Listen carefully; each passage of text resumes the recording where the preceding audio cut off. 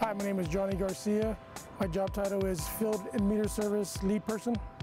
Being a meter reader, my main goal is to be uh, extremely accurate. Our accurate rate is about 99.9%. One thing I like most about the job is we're never in the same location um, on a daily basis. The average meter reader reads approximately 500 meters a day. First thing I do is I uh, check my route, what, what I'm going to get. I grab my handheld processor and I drive to the location.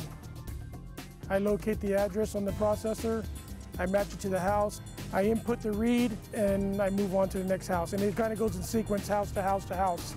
Before we got the handheld processors, we used to use a book that had approximately 300 reads in it, and that would give the location, the address. We would input the read manually, compared to now where everything is done by a push of a button.